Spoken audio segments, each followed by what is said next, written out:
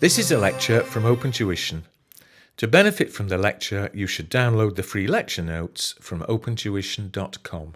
But I'm going to go through and look at the management commentary. Uh, it's not so much an important or huge element of the syllabus. Unlike your ethics and current issues within this area of the syllabus, it, it's of much less importance. However, I think it's worthwhile having a knowledge and an idea of what it's all about because essentially what you've got is if you think about your annual report, what we've gone through and focused on is the back half, isn't it?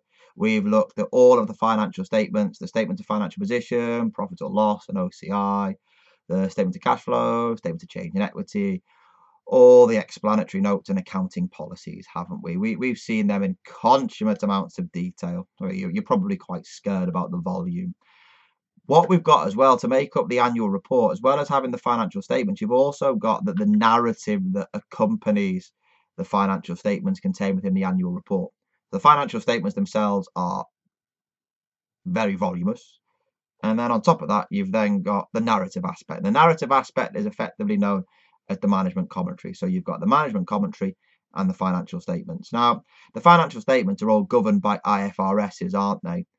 So what then governs the management commentary. And until recently, there was, there was no guidance, at least internationally, about what that management commentary should actually contain.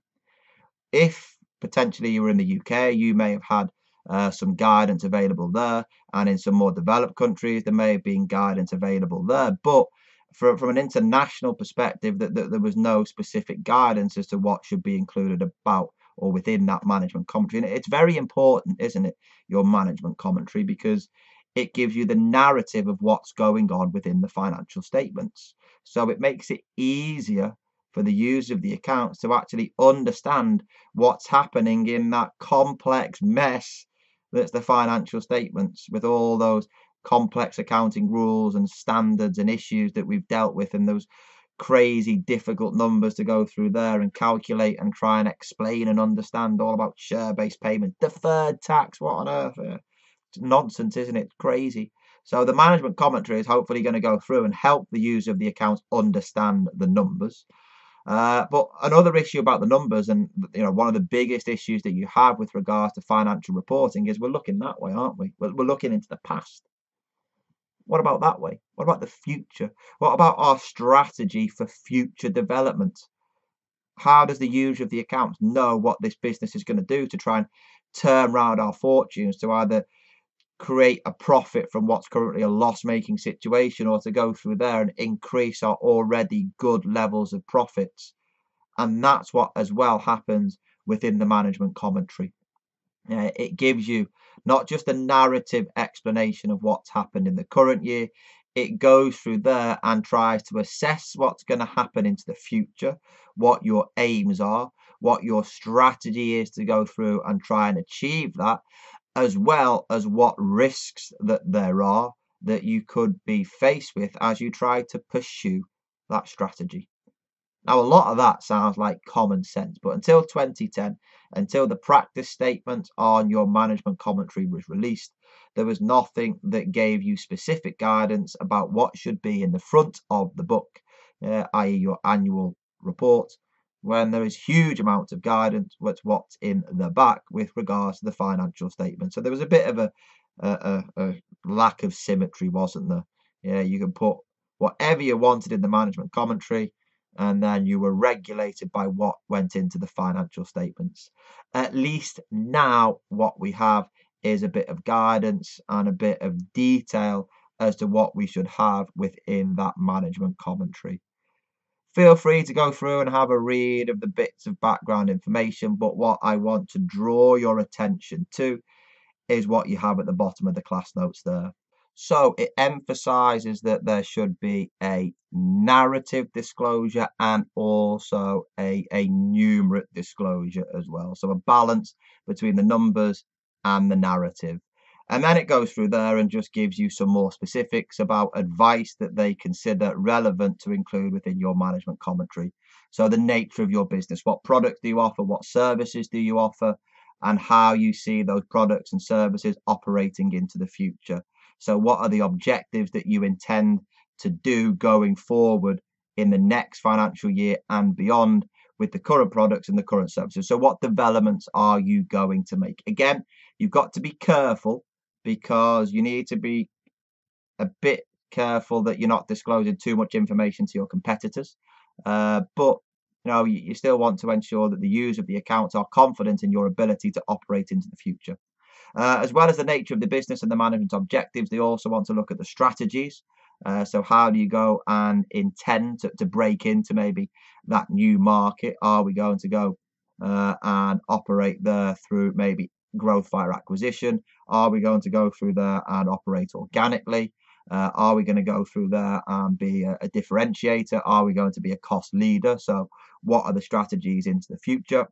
Uh, we mentioned as well uh, thinking about the risks that are going to be potentially faced, uh, as well as the risks. It talks about the resources and also the regulations. So, I think a lot of companies now, with regards to their management commentary, will be dealing with the issue that the UK has decided to leave the EU uh, and that's going to go through there and give rise to regulatory changes and if not more risks in terms of how businesses go through there and operate are they able to trade as freely as what they were previously?